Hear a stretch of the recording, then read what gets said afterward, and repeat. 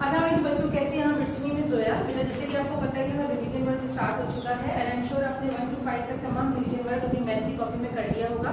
तो आज हम आते हैं अपने रिवीजन नंबर सिक्स की तरफ़, जो कि है learn and write shapes name ठीक है शेप्स नेम आपने बहुत दफ़ा याद किए हैं और बहुत दफ़ा इसका टेस्ट भी दे चुके हैं। ठीक है, सबसे पहले circle square rectangle oval and triangle ठीक है, अब आपने क्या करना है? आपने सबसे पहले रेड लाइन रिवीजन सिक्स की हेडिंग डालनी है और उस हेडिंग के बाद आपने क्वेश्चन लिखना है और क्वेश्चन लिखने के बाद सबसे पहले अपने पाँचों नेम अच्छे से याद करने हैं और याद करने के बाद फिर आपने ये पाँचों नेम अपनी कॉपी में लिखने हैं। ठीक है बेटा? और आपका जब ये तमाम रिवीजन और कंप्लीट हो जाएगा तो पाँच जून को आपने अपनी तीनों कॉपी स्कूल में लाके सबमिट करवानी है।